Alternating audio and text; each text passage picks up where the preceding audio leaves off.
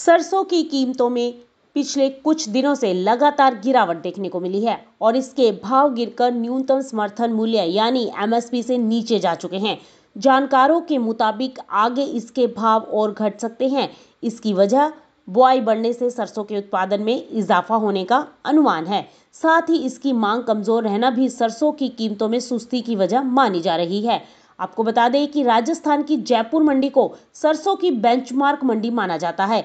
इस मंडी में इस समय सरसों के थोक भाव चौपन सौ से साढ़े चौपन सौ रुपए प्रति क्विंटल है और सरसों का एमएसपी साढ़े छप्पन सौ रुपए प्रति क्विंटल है। ज़ाहिर है, सरसों के भाव एमएसपी से नीचे कारोबार कर रहे हैं और सप्ताह भर में इसकी कीमतों में सौ रुपए प्रति क्विंटल की गिरावट आ चुकी है। ऐसे में अब जानकारों का कहना है कि इस साल सरसों की बम्पर पैदावार होने की उम्मीद है, जिससे सरसों की कीमतों में नरमी बढ़ सकती है। तेल मिलों की ओर से भी सरसों की मांग फ़िलहाल कमज़ोर है। इससे भी कीमतों में गिरावट को सपोर्ट मिल सकता है। आगे नई सरसों की आवक का दबाव बढ़ने लगेगा। ऐसे में माना जा रहा है कि सरसों की कीमतों में अभी और गिरावट आ सकती है।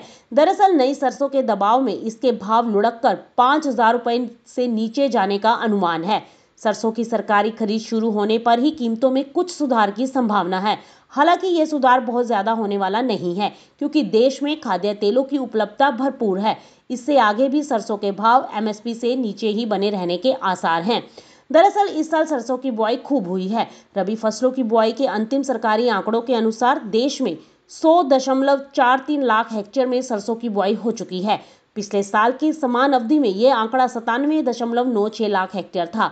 इस तरह इस साल सरसों के रकबे में लगभग ढाई फ़ीसद से ज़्यादा का इजाफा हुआ है। वहीं सरसों के सबसे बड़े उत्पादक राज्य राजस्थान में इसकी बुआई पिछले साल से कम हुई है। लेकिन सरसों के तीन अन्य अहम उत्पादक राज्य उत्तर प्रदेश, मध्य प्रदेश और हरियाणा में बुआई बढ़ने से सरसों का कुल रकबा ज़्यादा है। कुल बुआई बढ़ने के साथ ही मौसम भी इस फ़सल के अनुकूल है। ऐसे में उम्मीद है कि सरसों का उत्पादन अधिक हो सकता है और कीमतें नीचे बनी रह सकती हैं। Bureau report market times TV.